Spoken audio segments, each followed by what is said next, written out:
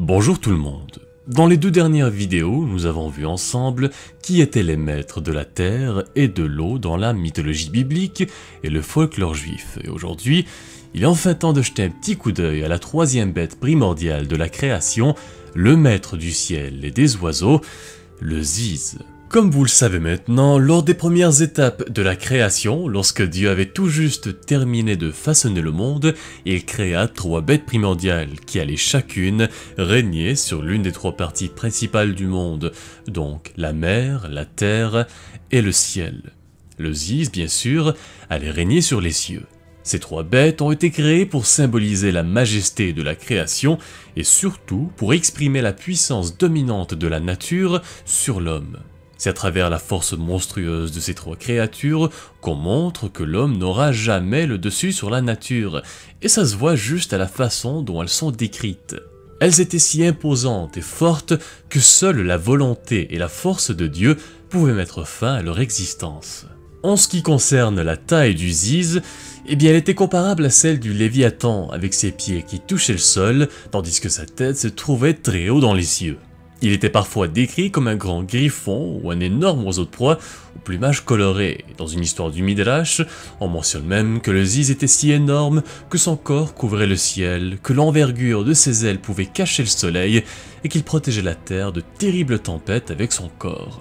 Contrairement au Behemoth et au Léviathan, qui eux sont mentionnés en détail dans le livre de Job et dans d'autres passages de la Bible, eh bien le Ziz, lui, est très peu mentionné dans les écrits religieux. C'est une créature obscure qui n'est mentionnée qu'à deux reprises dans les psaumes, mais même là, ce n'est pas très clair si on fait vraiment référence à l'oiseau légendaire ou si c'est simplement une forme d'interprétation par les rabbins à l'époque. La première mention, dans le 50e chapitre, va comme suit. Je connais tous les oiseaux des montagnes, et les bêtes des champs sont à moi. Et voici le deuxième, qu'on retrouve au chapitre 80 des psaumes.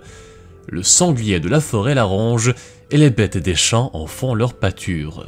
Dans ce premier passage, les bêtes des champs, pour plusieurs théologiens, est une référence directe aux Is, et ça nous montre tout simplement que Dieu connaît toutes les créatures vivantes sur Terre et qu'il a un contrôle total sur elles. Le deuxième passage lui présente le Ziz comme une force de destruction qui ravage la terre des hommes, soulignant encore une fois la menace que représentent les forces naturelles créées par Dieu.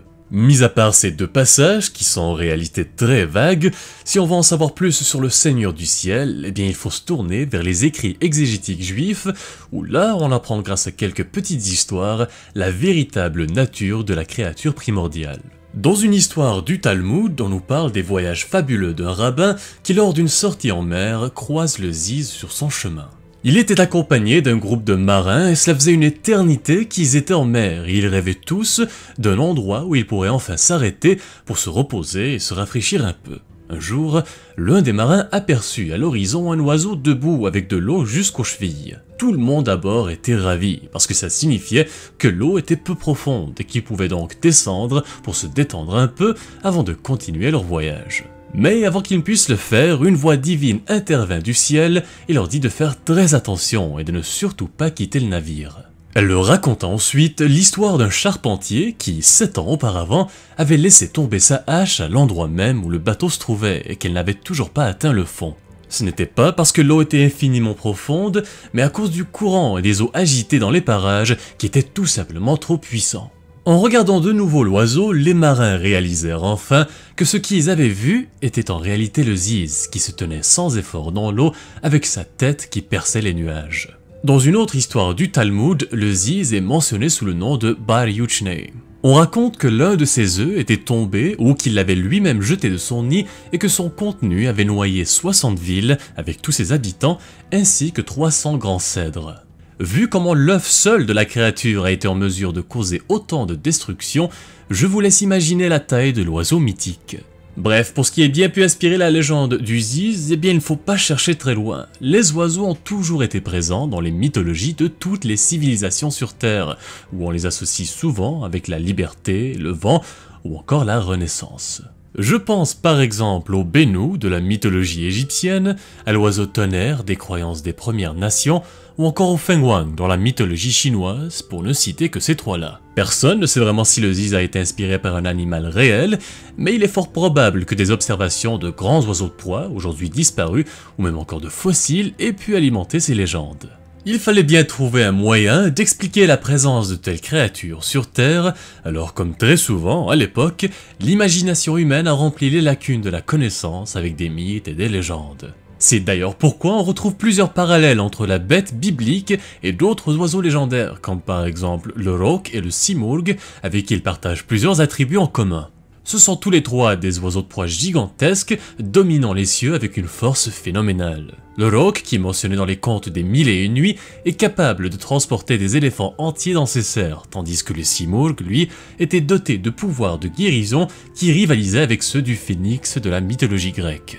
On retrouve aussi le Ziz aux côtés du Behemoth et du Léviathan dans une illustration issue de la Bible de Milan, aussi connue sous le nom de Bible ambrosienne, qui est un manuscrit très précieux connu pour ses illustrations élaborées et ses scènes bibliques très détaillées. On y retrouve donc le Ziz sous la forme d'un griffon juste au-dessus du Behemoth. Juste en dessous de l'illustration, on peut voir quelques personnes autour d'une table de banquet, ce qui est une référence directe au fait que le Behemoth, le Léviathan et le Ziz serviront de repas au juste lors du festin messianique à la fin des temps. C'est la promesse divine de la récompense une fois que le bien aura triomphé sur le mal. Comme d'habitude, si vous avez une idée sur ce qui a bien pu inspirer le Ziz dans le folklore juif, vous pouvez les partager avec nous dans les commentaires. C'est toujours très intéressant de voir vos réponses. On arrive enfin à l'impact du Ziz sur la culture populaire moderne, et pour être tout à fait honnête avec vous, il n'est pas très grand.